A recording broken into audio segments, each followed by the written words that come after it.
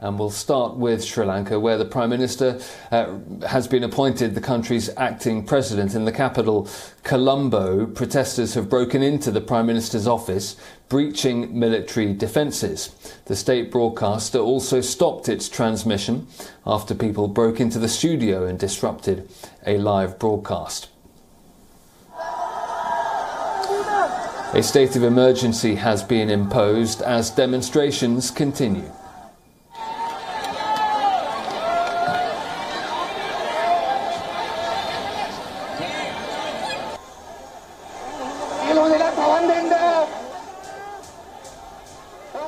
Prime Minister Wickremesinghe has called on the police and military to try and restore order as security officials struggle to contain growing protests. Sri Lankan forces have used tear gas to disperse swelling crowds who were chanting slogans against the Rajapaksa family.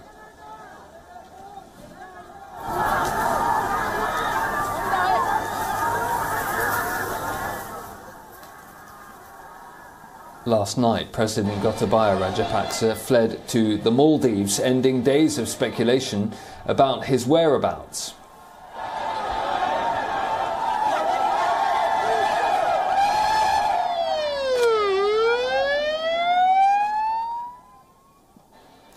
Let's go live now to our correspondent Dasuni Athauda, who is in uh, Colombo. Uh, Dasuni, what's the latest where you are? What are you seeing?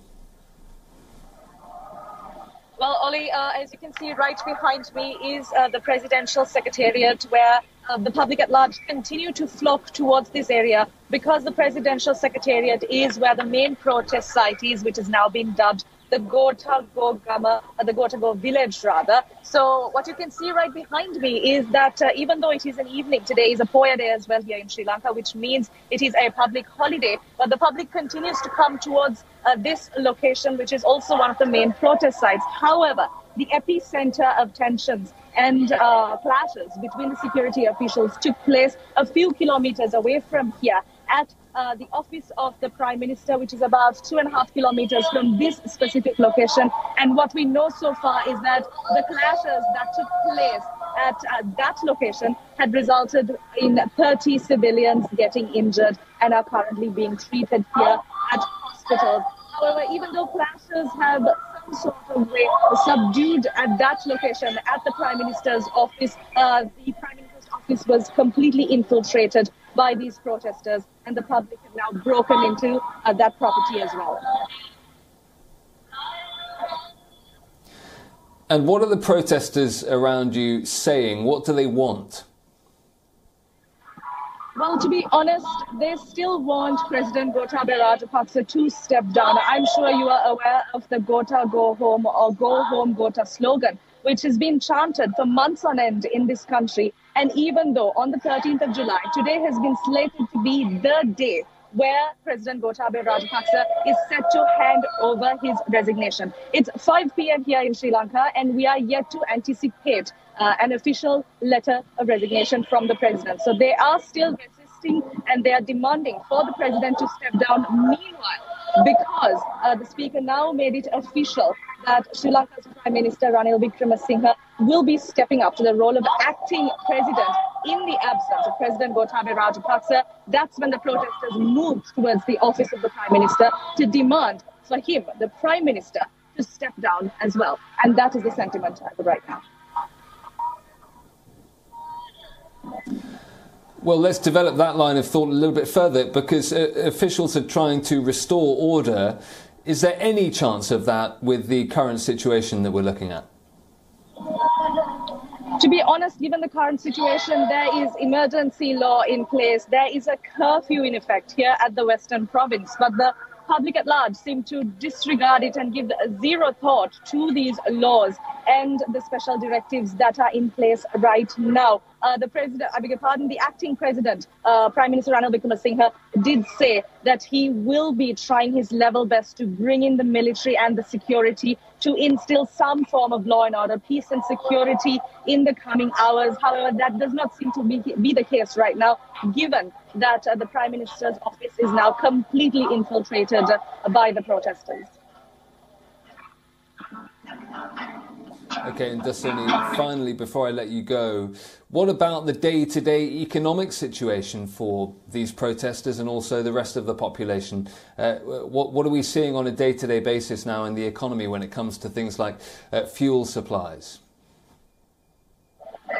Well, even though you see the public quite literally in their thousands gathering here, when you speak to them, they still face these difficulties on a day to day basis. We still have a fuel shortage in this country. If you are to travel on any road here in Colombo and the suburbs or any part of this country, you will see lines exceeding kilometers and kilometers on end vehicles that have been parked for days on end just to get fuel because there still is an acute shortage of fuel. That's not all. There is also a shortage of gas, but to a certain extent, the delivery of gas has now resumed here in the country. But the public sentiment is that they are suffering, they've had enough, and they want the president and now the prime minister to both step down because they've just had enough of these problems. Okay, Dasuni, thank you. That's Dasuni Athauda live from Colombo. And we're going to stay with this story. Uh, and for more, we can talk now to Sri Lankan parliamentarian Shanakiyan Rasamanickam, who's also uh, in Colombo. Thank you very much for uh, joining us. Uh, what chance do the authorities have at this stage of retaining any uh, sense of control and order in Colombo? Uh, it's important that we uh, look at uh, how we ended up here in, since the 9th of uh, July.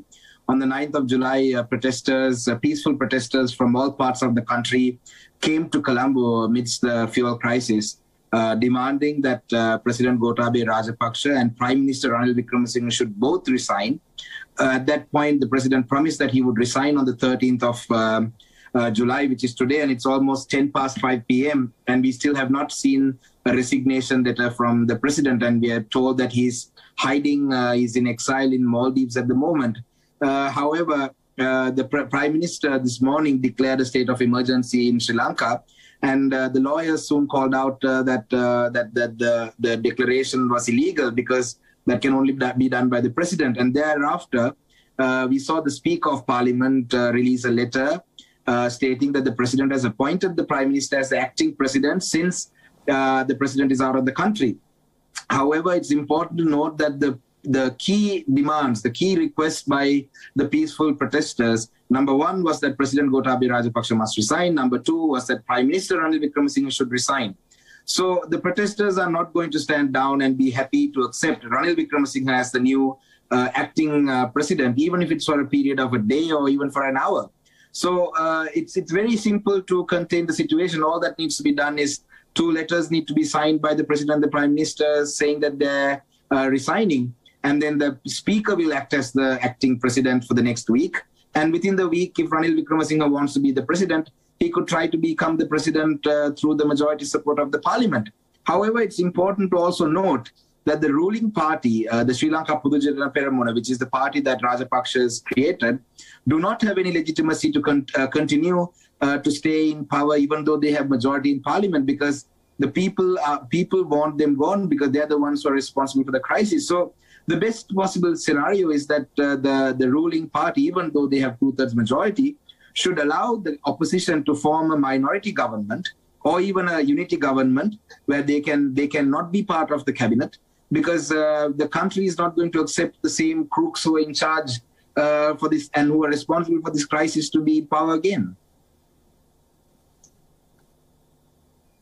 Well, how would, in that scenario, an opposition uh, form a minority government that would be able to get on top of some of the economic issues that the country is facing? What policies would they put in place uh, to ease the difficulties that uh, Sri Lankan citizens are seeing up and down the country? Well, every day that the protests continue is we are delaying uh, our road to recovery. So we need to understand that Sri Lanka is facing an economic crisis and thereby it led to a political crisis. So first we need to resolve the political crisis so that we can uh, start the recovery path on our economic crisis. So whichever government that is formed should be only a transitional government and should only be there for a transitional period of time and then we should go for fresh elections. And uh, it's important that we uh, manage our restructuring of our debt uh, for the IMF program. And also, we need to look at uh, uh, addressing the loss making state owned enterprises as well. So, even on top of that, I think we'll need a large uh, infusion of cash uh, in foreign currency that should come to Sri Lanka so that we can get rid of the pain that the people are facing. The queues need to stop. The, uh, we need to have uninterrupted electricity. We need to have uninterrupted supply of gas for the people to get on with their ordinary lives, uh, get on with their day-to-day lives so that uh, normalcy can return. So uh, we would need to speak to friendly nations uh, that could help us uh, get a cash infusion because if not, any economic revival plan will not happen. So uh, India in the past has, uh, in the last few months, has uh, helped significantly. We are very thankful to the people of India and also to the Chief Minister of Tamil Nadu for sending essential supplies. Uh, at the same time, I think we, the the the uh, international community should now intervene and uh, and and make sure that Ranil Wickremesinghe and Gotabaya Rajapaksa resigns because.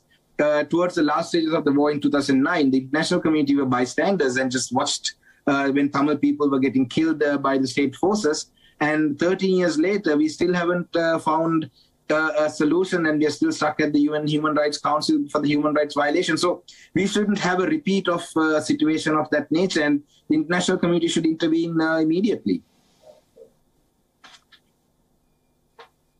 Shanakan Rasamanickam, who's in Colombo, a Sri Lankan parliamentarian, thank you.